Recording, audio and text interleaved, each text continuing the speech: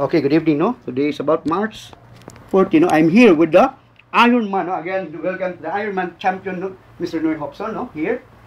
Again, na-injury man siya last time, kato sa Maui, no? America. So, karon na siya nabago nga ah, x-ray, no? Sa last, karon sa Tininoy? Last, um, last Tuesday. Last Tuesday, and then nakita niya nga, na-recover na gini yung bones, no? Again, in every problem, there's always be a solution.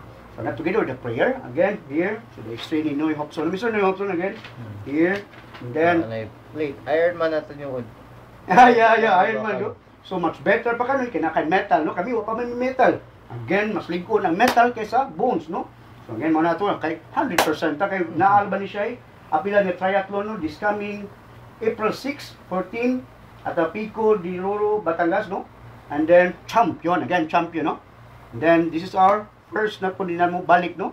And then, muna ito ikuan sino nga, congrats, no? Again, thank you. Thank you.